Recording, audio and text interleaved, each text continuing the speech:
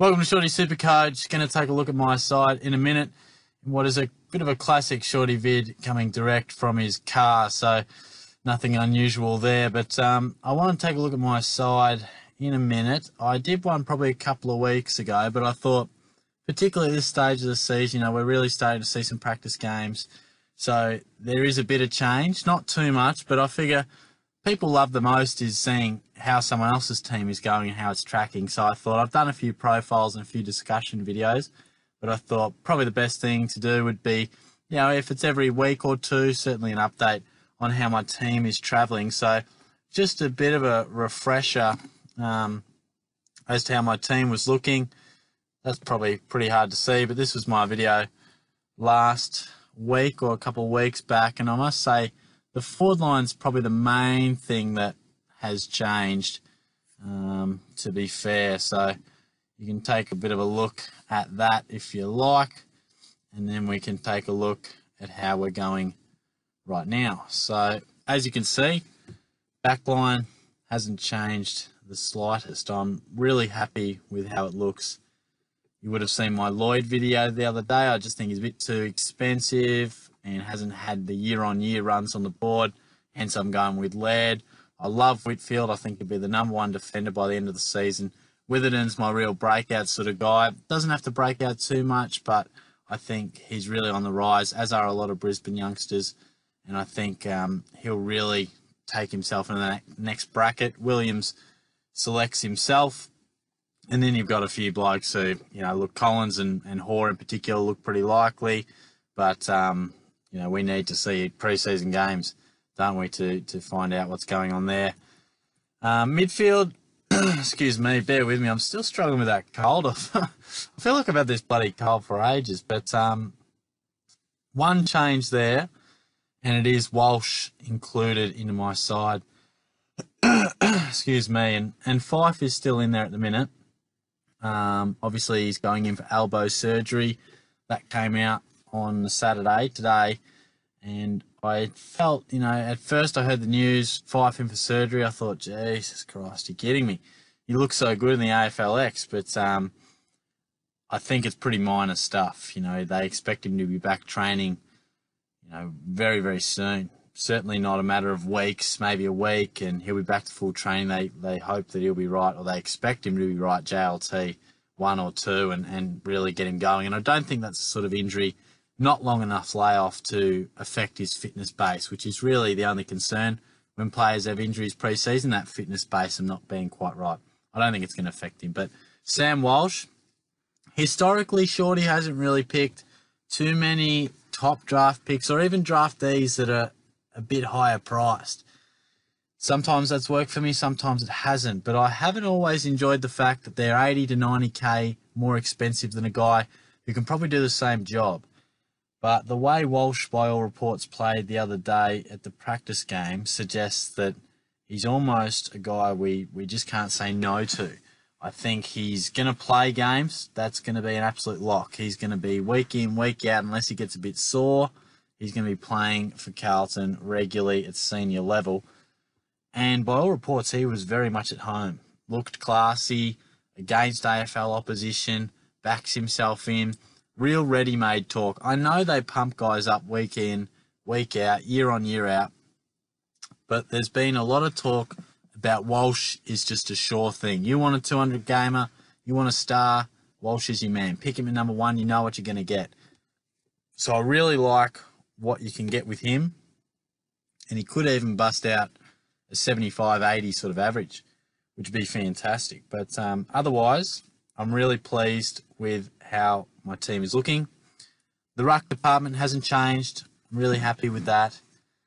Uh, line is probably where a little bit of change has happened. Um, Dangerfield and Heeney, absolute locks. I've been tossing and turning with the F3. Absolutely tossing and turning. And I know I shouldn't be because we've got weeks, you know, we're going to see practice games. Things are going to evolve and unveil themselves that might answer the question anyway. Yet I think about it a lot. I've gone with Tim Kelly at the minute. And what brought me to that decision?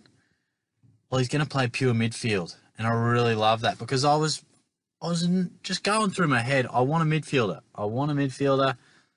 There's guys out there that, that have good prospects, but their position isn't absolutely locked in. I speak at Dunkley. Uh, McLean were a couple of guys I was looking at. Um, Petracca I've really liked at times. Um, but Kelly, the fact that Ablett's going to play a lot forward, even Selwood might float more half back at times. Kelly is definitely going to receive midfield minutes, and I don't think he's going to go anywhere else. You know, all players go elsewhere for portions, but it's not as though he's going to be one of these 40 60 split guys. He's going to be 95% of his time through the middle. Dangerfield, Duncan, Kelly. That is absolutely going to be it.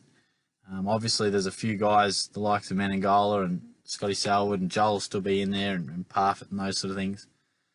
They'll definitely be in there. But I love the fact that Kelly is going to run through the midfield. Second year, wants to go home. Yes, they're all concerns. Don't get me wrong. I have my concerns about it. But for the minute, that's how it's rolling. Um, Willem Drew, I also think, is an outstanding selection. Really impressed in the intro, I think it was the other day. And he's a Ballarat boy. I've, I've met him, I've spoken to him. Big bodied midfielder, you know, fairly high pick. I think he was top 30.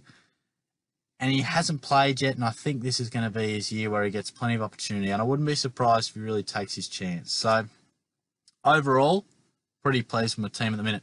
I will make a bit of an admission. I speak of the F3. Well, the man who was there probably three or four days ago, Mr. Jack Billings. Now, I'm not going to apologise. He was there. I did have Billings and Darcy Moore, and I think I had uh, Stocker in there as well. Um, so, in essence, I went, um, well, basically, it was Billings and Moore out, and I brought in Walsh and Kelly. And, and I like that. I think Moore could be anything, and that's what you hear. He could be absolutely anything. But there's probably one thing that I've learned, and Billings can probably go into this conversation too, is you don't have to get too fancy with your starting team. You know, people go, oh, I've got a cookie cutter team. You don't have to get too fancy. You've just got to get it right. Nothing sexy. Go with what you know. Reliable picks. Yeah, Kelly's only done it one year, but geez, a mature age, he couldn't have been more impressive. And by all reports, he's tearing the track up. So when I looked at Moore and Billings, I think they could be really good selections. If you got them in your side, I wouldn't be advising against them. But for me, I just want a little bit more stability, and, and there's a lot of time before round one, of course. A lot of things can change, but I, I really like Billings as a prospect. I think we'll see him get back to 90 plus. Where he falls, I'm not too sure. And Darcy Moore, as I said, he could be absolutely anything. Shows plenty of flair out of the back line, but even his body is a bit of concern you know, I'm, I'm not going to say I definitely wouldn't pick them. They might enter my side at some stage again. But at this stage, that's how my side's looking. Walsh sort of made himself sort of just so easy to to pick. I mean, he almost made himself too hard to say no, basically. I mean, the way he was playing, and I saw his ownership went from about I think it was 40 odd percent right up to the high 40s, I think it is at the minute. So certainly a natural reaction. And, and that forward line is, is where I'm just sort of wondering what I do, um, particularly the F3, but I'm really comfortable with that at the moment. There's probably a few different rookies and things like that, but I can't stress enough that I really do think that you don't have to overdo it. And as I was saying before, I think one thing I've learnt is that you don't have to go that alternative selection. People talk about point of difference players, and they can be very valuable, but I think for me, I back my trading in. I think if, in running terms, you know, if if the season of Super Coach is an 800 meter race, I, I just want to be there with 700 meters. You know, I just want to be there with 100 to go. I want to be in the race, and I think too often in years gone by, I'm well behind the leaders after 200 metres. And I claw it back with good training, uh, good trading, and, and, you know, I look good sort of around the six, 700 metre mark, but I've just left myself far too much of a gap to make up. So maybe it's a little cookie cutter.